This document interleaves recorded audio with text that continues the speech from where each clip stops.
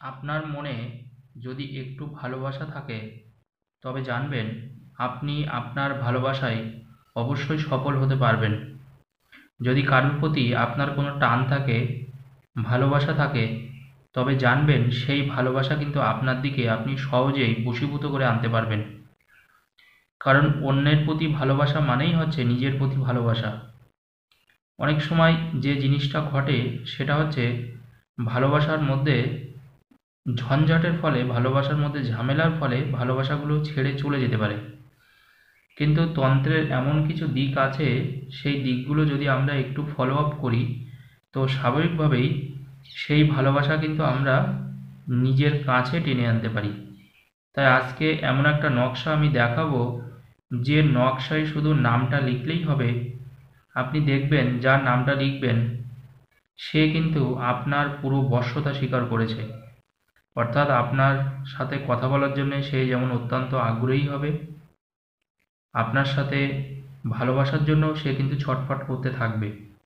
কারণ এটা নিজেকে আপনার অনেক প্রত্যয়ী করে তুলবে এবং আপনার ভালোবাসার জায়গাটাও কিন্তু অনেকটা সচল হবে। অর্থাৎ ভালোবাসা ভাঙবে না। তন্ত্র, মন্ত্র যখন আমরা ব্যবহার করি, তখন যে জিনিসটা আমরা প্রায়শই ভুল করি, সেটা হচ্ছে আমরা সঠিকভাবে হয়তো কাজটা করি না।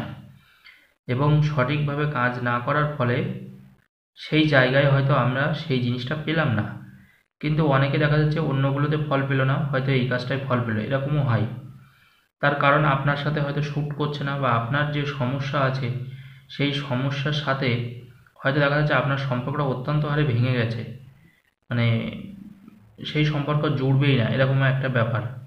বা আপনি যাকে ভালোবাসেন তাকে বলতেই পারছেন না মনের কথাটা। বা সে জানেই সে জানেই না যে আপনি তাকে পছন্দ করেন, ভালোবাসেন।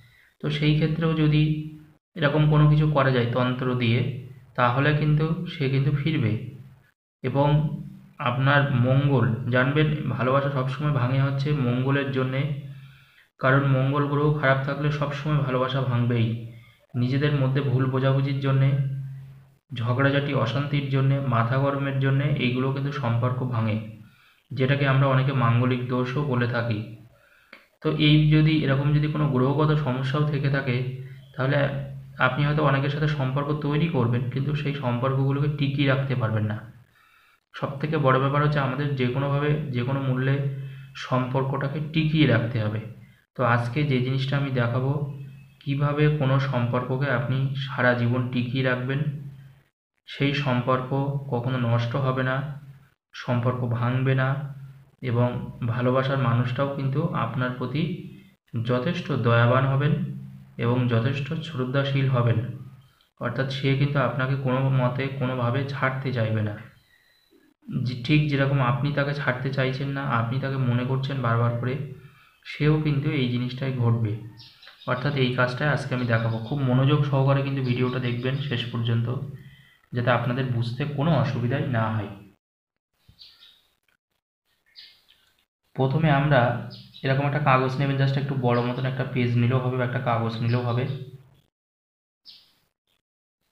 লম্বা করে, সোজা করে এরকম একটা দাগ টানলেন। এবার ঠিক এর মাঝখান দিয়ে আমরা একটা দাগ টানবো আর একটা। মানে অনেকটা যোগ চিহ্ন মতন। দেখুন, এটা দেখতে কিন্তু অনেকটা যোগ চিহ্ন মতনই হয়েছে প্লাস যেরকম যোগ চিহ্ন, ঠিক তেমনি। মানে সেই দিকের মতন হয়ে গেছে। চারটে যেরকম দিক হয়, পূব, পশ্চিম, উত্তর, দক্ষিণ, এরকম দিক হয়েছে। এবার যেটা আপনারা করবেন, সেটা হচ্ছে এই দিকগুলো একটু লিখবেন। প্রথমে এটা লিখবেন পূব দিক। পূর্ব। এটা হচ্ছে পূর্ব। পূর্ব যেদিকে হবে, তার উল্টো দিকটা হচ্ছে পশ্চিম।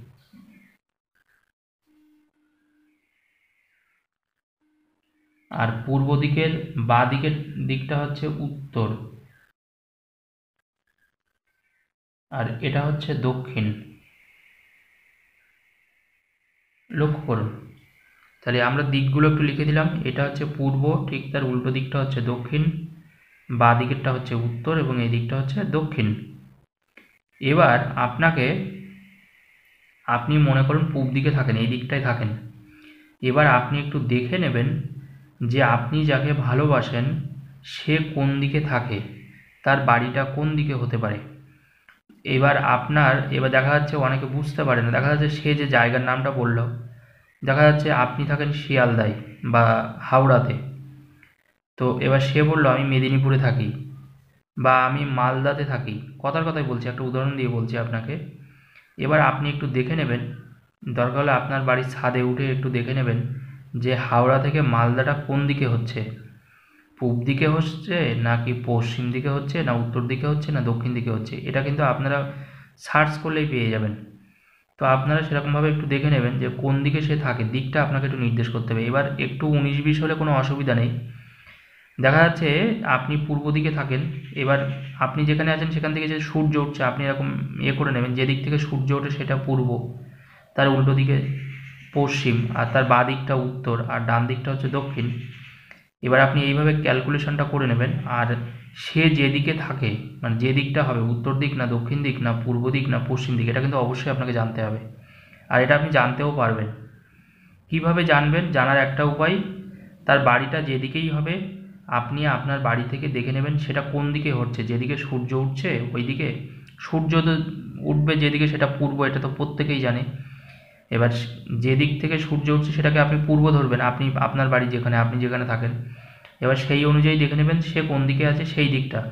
তা আমি মনে করছি যে সে দক্ষিণ দিকে থাকে, আপনি যেখানে আছেন সে দক্ষিণ দিকে থাকে। এই দক্ষিণ দিকে সে যেখানে থাকে, সেখানে এই দক্ষিণ দিকে প্রথমে তার নামটা লিখবেন।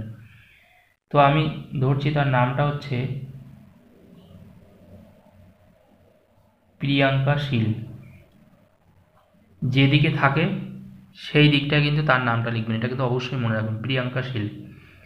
আর আপনি, আপনার নামটা ঠিক এই যে মাঝখানে দেখুন যে জায়গাটা হলো, এই যে এই যে ঠিক মিডিল পোর্শন এই চারটে জায়গায় আপনার নিজের নামটা লিখবেন। তো আমি ধরছি আপনার নাম রতন শিকদার। উদাহরণ হিসাবে লিখলাম। এই দিকেও লিখবেন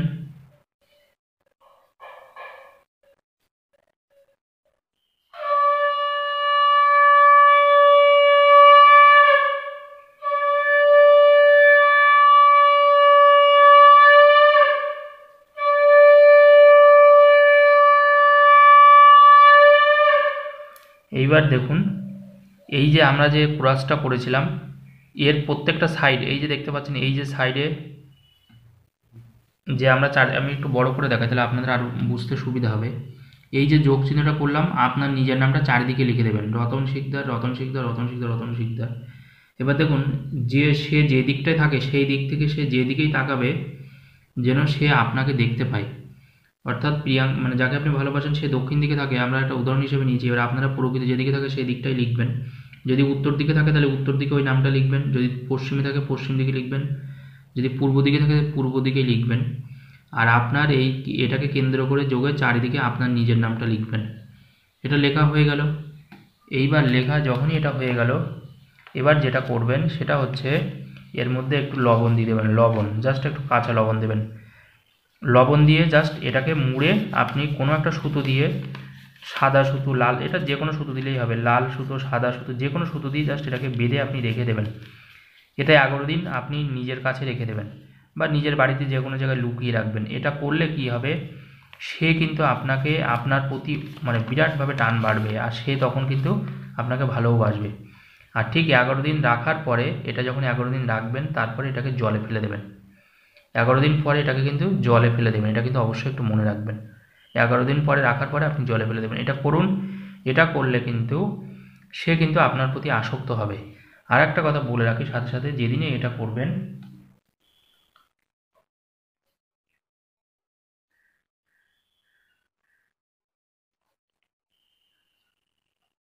ওং মঙ্গলায় নম। এই মন্ত্রটাকে আপনি বারবার শুধু জপ করবেন। দেখুন, ওং মঙ্গলায় নম। এই কাজটা যখন করবেন, আমি একটু দেখি দিই আর একটু ওং মঙ্গলায় নম। এই মন্ত্রটা আপনি বারবার জপ করবেন। যেদিন এই কাজটা করবেন, সেদিনকে ওং মঙ্গলায় নম। ওং মঙ্গলায় নম। ওং মঙ্গলায় নম। এই মন্ত্রটা শুধু বারবার জপ করবেন, আর কিচ্ছু করতে হবে না। আর এটা করে লবণ দিয়ে ভরে রাখুন। আপনার প্রতি তার ভালোবাসা টান বাড়বে, এটা কিন্তু হান্ড্রেড পারসেন্ট, এটুকু বলে দিই। এই কাজটা করলে আর যেদিন কাজটা করবেন, ওম মঙ্গলায় নম, এইটা কিন্তু বারবার আপনি অবশ্যই অবশ্যই জপ করবেন, এটাও কিন্তু মাথায় রাখবেন। আর কোনো দিন করার দরকার নেই, শুধু একদিন করলেই হবে। এই কাজটা করুন, আপনি অটোমেটিক দেখবেন, সে কিন্তু কামব্যাক করবেই। এইটুকু বলে দিই। ধন্যবাদ।